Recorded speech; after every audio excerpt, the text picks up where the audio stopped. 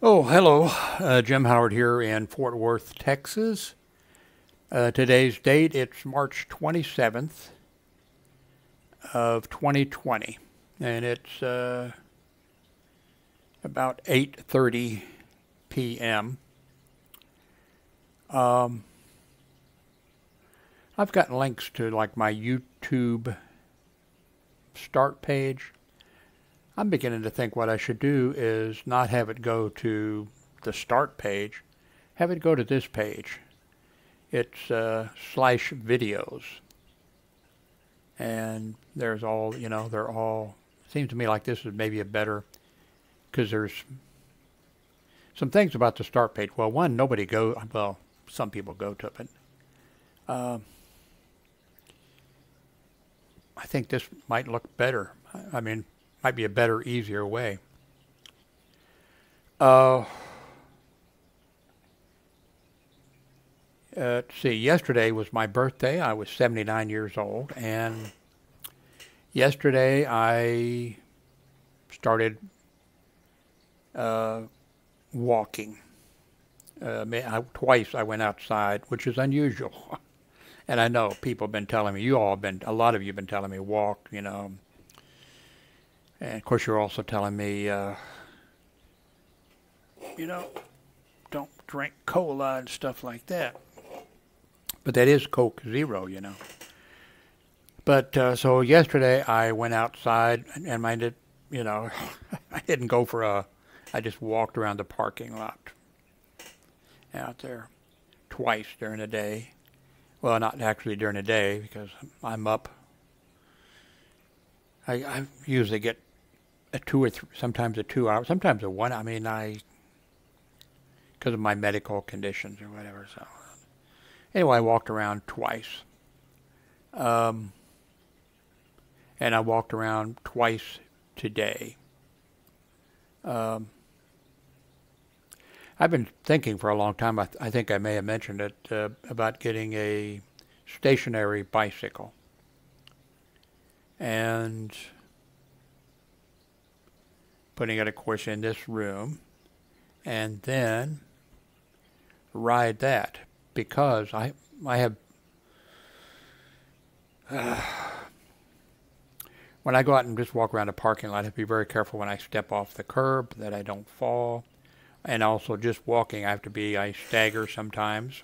I do not drink at all, but I stagger sometimes, and. Uh, and a, a, lot of people are saying, just go walk, you know. Uh, kind of, uh, I've fallen a couple times. Not here, I don't believe. Once in the street, uh, Camp Bowie Boulevard or whatever. Uh, so I'm thinking, you know, um, set the bike up someplace, stationary bike, and uh, ride it I don't have my TV set up, but excuse me, I do not have the virus. Uh, uh, and I'm thinking, you know, okay, if I'm on the stationary bike, I'm probably not going to fall off of it. If I do fall off, I'm going to be on the floor. Maybe I could put it next to my bed and fall on my bed. Uh, and I'm thinking, there's, there's, i have gotten where I don't even like I watch YouTube videos. I really don't watch. Uh, I don't know, just something about you know television and movies and whatever. I just I guess I've lived long enough that seen it and uh, not interested in the foolishness. I guess, um, but that kind of worries me. My uh, mother. Spent last years of her life just watching television and drinking highballs and uh, you know eating. And she got Alzheimer's but we were lucky.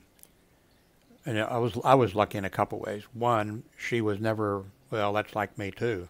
She lived in a she lived in a mobile home. Well this is not a mobile home but she lived in a mobile home. And she never tried to go anywhere never tried to go anywhere. So when she got Alzheimer's we never had to worry about her leaving or getting out in the street or anything. She just didn't do it. But uh,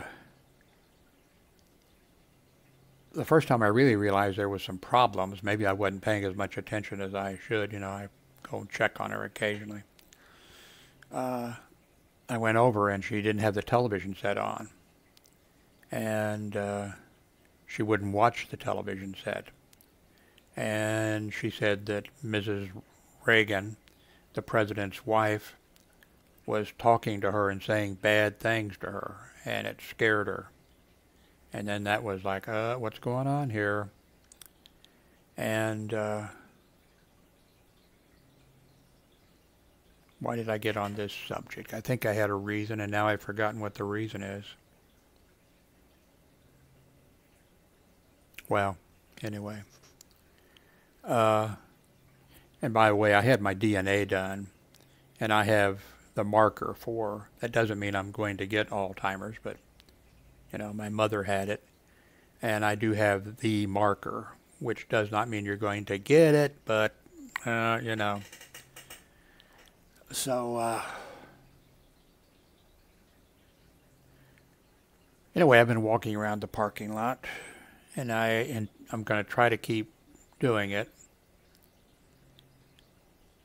But I really think the stationary bicycle, and I've had a friend, well, a couple friends, well, one friend, I guess, said, You're not going to use that, you know.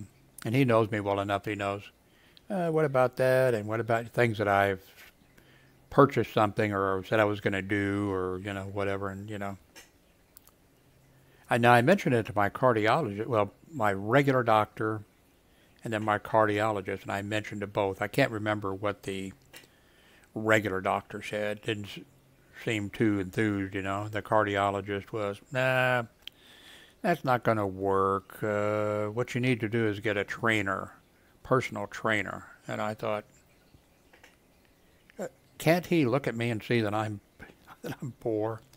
And then he said, uh, uh, get a club, you know, you get a membership. And, uh, and I, I said, well, I did that a couple of times and I never went. I paid and never went. And I said, I think I need it. You know, uh, so I'm going to, I think, get a at some point stationary bicycle and then set have some type of a schedule, um, some TV show that I. Uh, like news or something like that and just during that song, you know, watch it. And that's going to be it. So, but I should still walk, I think. Um, we're doing okay here. Um, and I really like that I paid for the Walmart $13 a month. And because one of my one of our excuses, well, my excuses for not having vegetables and fruit and that type of stuff is it doesn't keep long enough. Uh, and now, after paying that thirteen dollars, like I ordered twice in one week from Amazon or from uh, Walmart with their and they don't charge for it because I'm paying thirteen dollars a month Of course, I always tip also, you know, the person that brings it out. But uh, that's a way to get like some fresh, you know, have it delivered, you know, and and I've been ordering uh, the salad type things that uh, you know you have your lettuce and then it comes with this dressing. I know you're not supposed to, and I love the dressing, you know, different kinds of dressing but you know, it has the chicken in it and has the cheese, and you dump it in or whatever. And uh, I'm thinking, you know, once a week, maybe, or maybe I could make it every two weeks. I don't know. Order. Well, of course, they have a limit now. You, like you can only order two of the uh, salads, and then you have to order two of another kind of salad and that type of thing. Uh, So I'm going to try to eat a little better. I mean, I know it's too late. I mean, I'm 79. I mean, I should have started this when I was 40. Probably, I guess, before I was 40. Uh, but I was in good shape I was until I was. I never had any real medical problems until I was like about 65. And the few little times that something came up, and I'd give my medical information, and they, you know, the nurse or the clerk or whoever was taking it, you, you haven't had any operations? No, you know. You never been hospitalized? No. You haven't had any surgeries? No, you know. Uh, now that when I give my information, it's like, you know. But uh, so I'm going to try to do a little bit better. I know it's too late, but um, okay. I don't know. Oh. Oh, I was gonna. Yeah, I. Uh, I don't know if I'm. A, this has been. This has been going on for forever. I think. I. Uh, I don't have a cold. I don't have a fever. It was just my nose runs from time to time, too often. We do have a cat. I may be allergic to the cat. Everybody else in the family is allergic to the cat, I think. Um, oh, for years I just been. I can't remember the last time I went to a, uh, you know, to a barber. Uh, I just cut my hair with clippers, you know, electric clippers. And I've had the same electric clippers for a long. They they broke for some reason. They don't know why. But that's okay. They didn't cost very much. but in the past, when I uh, would use the clippers, uh, I mentioned I think this yesterday, I believe. You know, the cord had to be plugged in. The cord would knock something into the sink, and uh, you know whatever Of course, I don't have water in the, but anyway, I don't like the cord going down into, you know. So I, uh, I ordered from Amazon uh, clippers. I think they'll be here Monday. And uh, I got a recharge, you know, battery uh, on a battery operated. And I think that's going to be, because that, going over my head and the cable's pulling. I mean it. So anyway, I got the, that coming. So anyway, when I was went to Amazon, just ordering the clippers, I thought I'm to check again because I mentioned the other day that I ordered something from Amazon, and they had uh, toilet paper. I'm talking. About, I'm not talking about Amazon grocery store. I'm talking about you know Amazon Prime or whatever and they had toilet paper. So I clicked. It went to, when it went to the, uh, you know, the uh, checkout. It said uh, May, sometime in May, that would be shipping. So oh, okay, well, you know. So I went there again and I tried a different uh, toilet paper. Clicked on that, and went to the checkout, of course, and it, I left it on the thing, but it was also sometime in May that it's going to come. I mean, whenever it comes, that'll be okay. Um,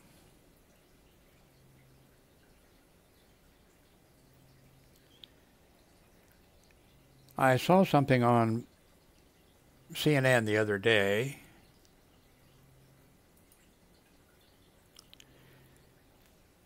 Uh, the FBI shot a man to death in, in Belton, I think at the Belton Hospital.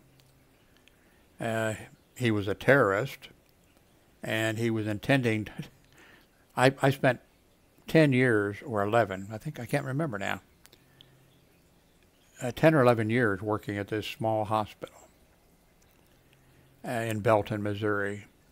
It was called Research Belton Hospital then but I, it's been taken over by health, by uh, hospital association. I forget, you know, one of those for profit. But I uh, worked at the hospital. Basically, I was the only with there was. I'm not going to go into staffing. Um, so anyway, um, this, I mean, it's a, it, well, it may have grown a little bit, but it was a small hospital. And it's still a small hospital, I'm sure. Might have grown a little bit, added a few more beds or whatever, but some terrorist, a domestic terrorist, who uh, apparently, reading between the lines, objected to uh, virus patients being treated or uh, thought that that's all fake or something, I don't know, uh, decided to blow up that hospital. And I guess when he went looking for explosives and that type of stuff, I guess the uh, FBI hooked up with him and said, "Hey, buddy, we, you know, we can help you." And uh, so anyway, a small hospital that I uh, worked at. Well, let's let me say, I, there was. Well, um, He was a potential violent extremist. They were executing a warrant Tuesday in, uh, see, 100 block of Wilbur Parish Circle. That would be in uh, Raymore, Missouri, and that's where I was a reserve officer for and patrolled once a week for 10 years or more. Uh, they shot and killed him. He believed that Wilson believed he was picking up a bomb, which didn't actually exist, of course. Uh, small world. I can, I can remember when, uh, well, we had a bomb threat there once when I was working. I was the only officer working, of course and uh, the bomb plan set up for the hospital or whatever was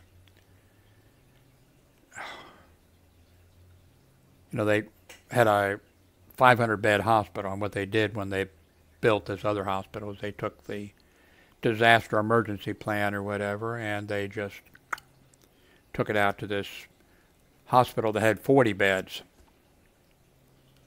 and they said, okay, here's the plan. And then, of course, I was sent out there. The first officer. Oh, they had a couple officers. They had a few officers out there for a little bit until they were getting everything ready to go, and then I went out there. And uh, so I went out there, and then I, you know, started doing my thing, and then I got the disaster plan, and I said, oh, this is interesting, and I could see what they had done, you know.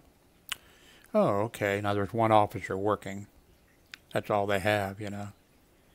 Okay, it says here when an emergency, you know, disaster plan A or whatever happens, that one security officer will go to the front door, one security officer will go to the control center where the hospital administrator is and all the department heads are. One security officer, and one security officer will go to the emergency room, and once, you know, that was fine when I worked at the main hospital where we had like seven security officers on duty.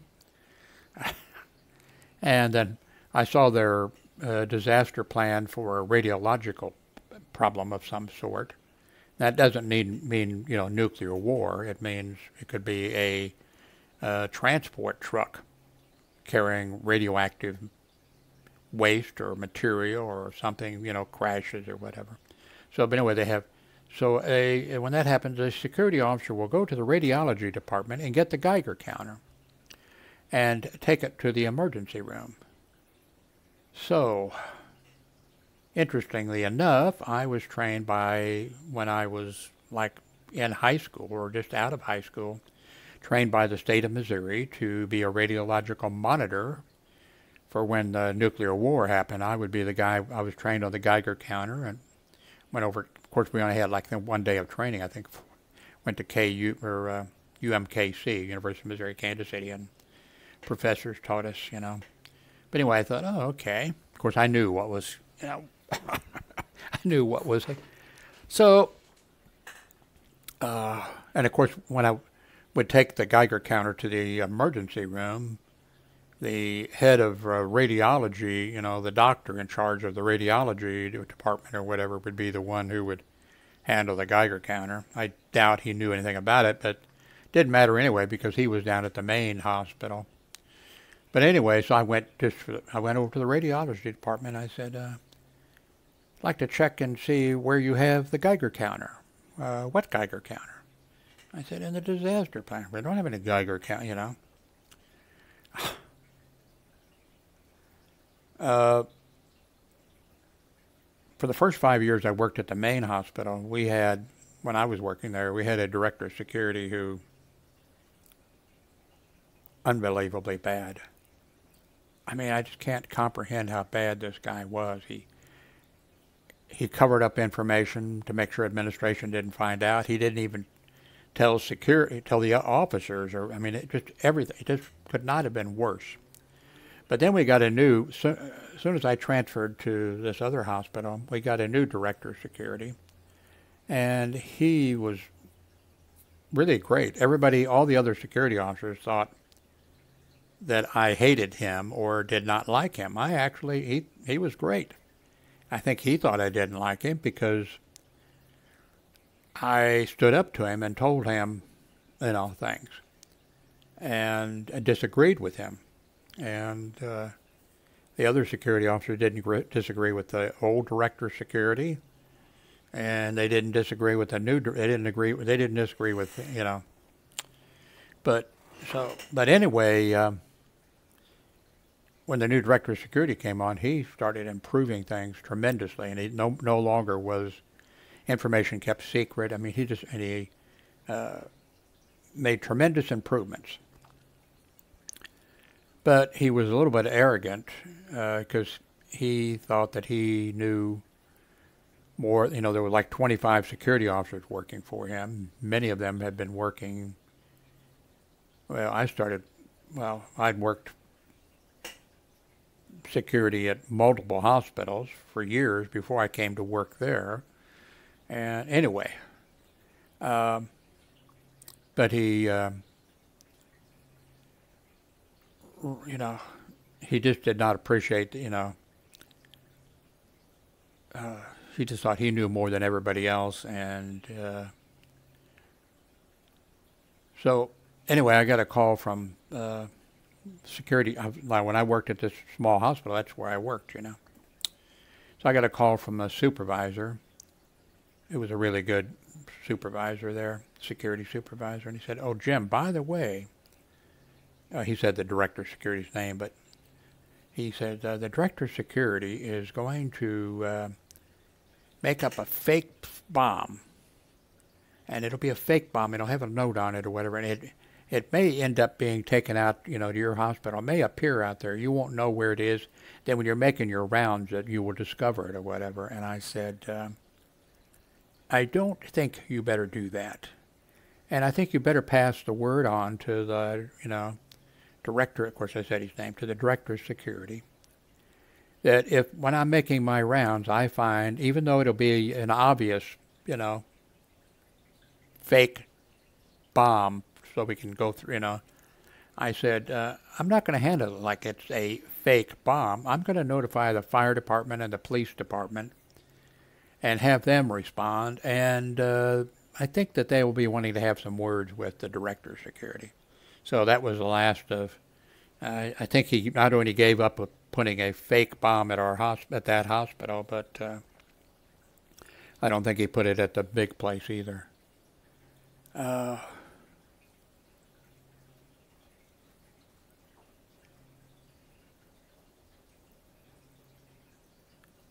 I guess I'll put the links to this in case you're interested in it. Uh, anyway, so at that hospital, I, I had there was uh, one time a okay, yeah, at like 4 a.m. in the morning, uh, there was a, a phone call that came in, and that that was a small hospital. The nurses on the second floor, the switchboard operator, like went home at midnight, and so from midnight, you know, to like six in the morning, there was no switchboard operator. Then poor nurses who, and they did I forget what they called it. All the hospitals did that. you know, they okay. How many patients do we have? Okay, well, then the nurses on this unit they can get by with you know two nurses. Okay, over here we're going to need three, and the you know the the hospital supervisor, the nursing supervisor who would be on duty, you know, she would have to figure this out and then tell call some nurses say no, don't come in today, and then she'd have to call maybe an agency or call you know, come in. And that was just so. You could have had like two nurses working up on this floor with 20 patients or 15 or whatever. And uh, they had to answer the phone when the phone rang, unless somebody dialed directly to the emergency room. If a call came into the hospital, it went up there, and the nurses had to come over and answer the. Anyway, somebody called in with a bomb threat, and uh, the nurse handled it perfectly. You know, she asked, you know, where the bomb was located, uh, when is it supposed to go off, and the person said it's in the emergency room and it's supposed to go off in, uh, you know, 15 minutes or whatever. Fantastic. So then, you know, the person then hang up or whatever. So then she calls me. Okay, I've been in the emergency room for, that was a busy night, but th- then there was nobody there except a, a Belton police officer and myself. So, you know, he said, oh, we'll call the, you know, I said, no. I said, uh, we'll take care of it. So we took care of it. And, uh, but, uh, I, um, I can hear our cat crying. It must be close time to eat. Anyway, um, man shot and killed by FBI agents in Belton was a suspect. Let's see. Okay, that's not the Belton Hospital. That must be where he lives. Or lived. Breaking tonight, we're learning more about a man who died after a confrontation with an FBI agent. His name is Timothy Wilson. He's 36 years old. And the FBI believes he planned to target a local hospital with a car bomb. Well, the FBI, though, caught up with him near Wilbur Parish Circle in Belton to make an arrest. KCTV5's Nathan Vickers is live now to tell us what happened then. Nathan. The FBI says they were waiting for him when he stopped somewhere on this street to pick up. Yeah, I don't think that was uh, a Belton address. I think that was a Raymore address.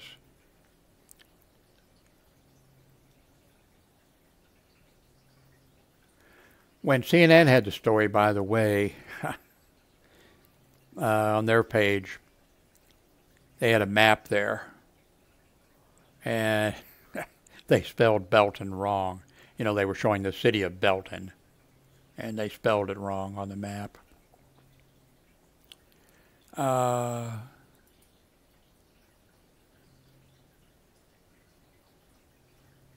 let's see here. Aquarium closed due to the corona, coronavirus. That must be the one at uh, Union Station.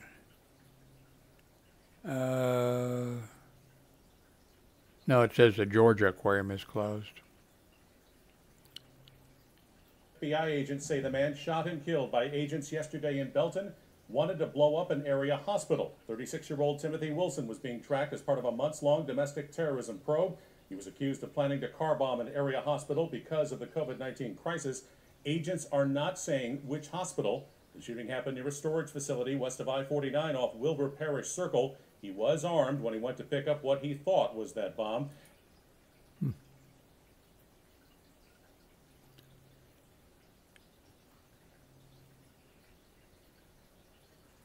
Well, he lived in Raymore, and uh, I think they said a hospital. Ouch! I think they said a hospital. Wilson was motivated by racial, religious, and anti-government views.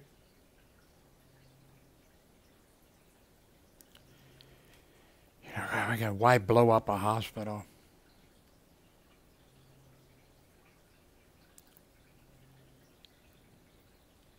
Oh, uh, you know, and we had to give a little bit of training to hospital at all the hospitals on what to do and when there's a, you know, bomb threat, you know, bomb threats or whatever. And by that nurse there at Research Belton Hospital, by she handled it just perfect, just the way she was trained to do by asking those questions. And if, if she could have got more information, you know, that would have helped. I mean, that was fine. She did perfect, you know. Uh, so, anyway, I've, if you noticed, I moved the camera and I installed a uh, very bright light up here above. I don't have it on though because it. Let me pull this up here again. Looks like this is working. Oh, I also mentioned that I, I'm thinking about getting a new. I was thinking about getting a iPad, you know, the like the one that's four hundred dollars, which is half the price of the the better one. That would be fine.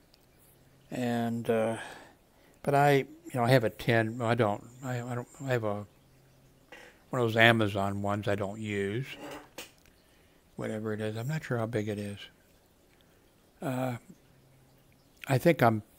I mentioned the other day. I think a new cell phone, Pixel, is what I think I will get, because I take that everywhere that I go with me, and it just happens. You know, it's an economy price, middle range, or whatever, but they did not skimp on the camera situation. You know, they didn't make it out of aluminum or stainless steel or a titanium. And they didn't put the fastest, best processor in it. And they didn't make it waterproof. And a bunch of things. But it's a Google Pixel.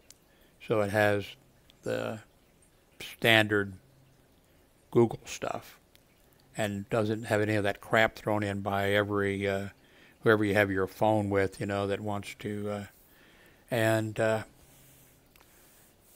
they did not skimp in the area of uh, the camera. In fact, the camera is as good as uh, the thousand dollar camera, so I can't afford a thousand dollar camera, or I mean a thousand dollar cell phone. I'm not sure, by the way, if I should add that onto the back of here. I think I will. I out walking around the last couple days. I uh, made uh, some little videos or whatever, and I think I've got some pictures. I think so. At the end of this video, you can just stop. You know, uh, unless you want to watch me walking around the parking lot or something. So um, at some point, I guess when I do get the new cell phone, I will do a review on it, but I have seen fantastic YouTube reviews of that cell phone and comparisons between the other phones, you know, and the same and that type of stuff. And but I'll just give you from my perspective of uh, you know how it works out for me. Had somebody ask uh, the uh, whatever cell phone service I'm working. The links is below and it's working out okay for me. I don't use my cell phone. Well, I have my cell phone. I control the lights and uh, that type of stuff and but I don't watch videos and blah blah blah blah. And when I'm here, of course, I use Wi-Fi and I only use the uh, cell phone part, you know, when I'm out of Wi-Fi range, so the cell phone service is working fine for me. Uh, I think that's think that's it. I'm sure I'm going to think of something else because I got it rattling around in my head. I, like, I'm just going to quickly mention it. One of the places that I was offered a job, Johnson County Community as security officer, Johnson County Community College. Eh, many, many, many years later, they had uh, a few years ago. They had a, a, shootout there. Somebody came in and uh, did a shoot, you know, did a shootout or whatever. Um, trying to think of, oh, well, in the beginning when I did security, hospital security, in the first few years or whatever, I also worked contract guard security just for extra income. So it was a second job. And I got I got sent to Unity Village. You know, you've heard of the Unity Church, Unity Village out in right next to Lee's Summit. I was sent out there to be a Unity Village police officer. I was working for Pinkerton, and I went out there, and there was they had two. Are we out of focus here? Uh, hmm. Why are we out of focus? Well, I look better out of focus. Let me just finish my story and get the heck out of here. Um, let me turn the light on. Not the big light because I don't have it. I uh, don't have an adapter for it. Okay. Okay. I could just tell, you know. There we go. Maybe that helps. Anyway, uh, Pinkerton sent me out there. And anyway, they used their own police officer, Univillage police officer, for the day shift. And and they had one Univillage police officer inside the place where they receive donations. And then the other person, they used a Pinkerton security uh, guard.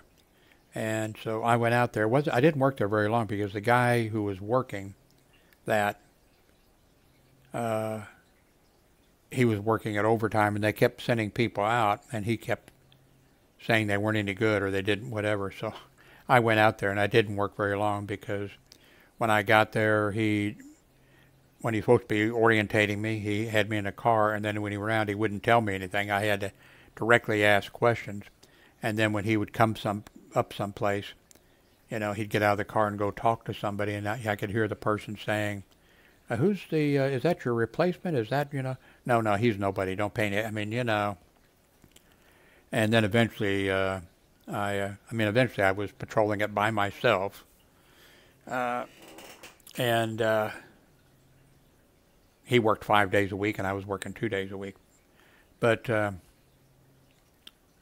eventually I got a call from Pinkerton and said, uh, we, we don't need you out there anymore. So I'm sure he uh, reported because he wanted to work seven days a week. And I think maybe he was hoping that uh, they would hire him as a, you know, but, oh, but anyway, right after I was no longer working there, I mean, you know, the Unity Village, you know, small, whatever um, this guy who was he was retired Navy bosun's mate, or I can't remember what he was, something. Uh, so he was back. It was. I'm not sure if that would have been my night to work or not. So it was better that he was working because he knew everything about the, you know. But he noticed a car parked by the plant operations building or something. So the car took off, and he went. He took off and tried to stop it. You know, of course, that car, you know, was a police car. You had, even though Pinkerton, you know, red lights and siren or whatever. And uh, the car ran off the road eventually, and uh, I think the guy was slightly injured, the driver, but then the uh, highway patrol or whoever came to assist with the thing Anyway, they found a gun there. Anyway, the uh, security officer went back and checked the uh, where the guy was parked, and found a guy dead. a guy who was manager of the plant operations department or something. And I can't remember the, the details. Uh, either this guy got the job and this other guy uh, wanted that job, or he didn't get hired or something, and so he killed that guy. So, small world. Anyway, am I going to add something? I don't know. If you see it, you see it. If not, okay. Thank you very much for watching.